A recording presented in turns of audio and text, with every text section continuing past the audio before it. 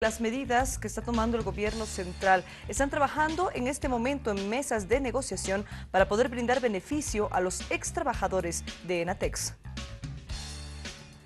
Luego que se diera a conocer que la empresa Enatex cerraría puertas, el gobierno ve la forma de velar el bienestar de los más de 800 trabajadores mediante beneficios como viviendas sociales y atención médica. Se vio poder apoyar con lo que pueda ser vivienda social para los eh, compañeros que no tienen vivienda y organizar una comisión para ver los compañeros que tienen algunas enfermedades, eh, los que están por jubilarse, en fin, para poder brindar un apoyo, adicionalmente del apoyo que tendría el eh, Servicio Nacional Textil para los que tienen empresas, eh, microempresas o los que quieran constituir una microempresa textil.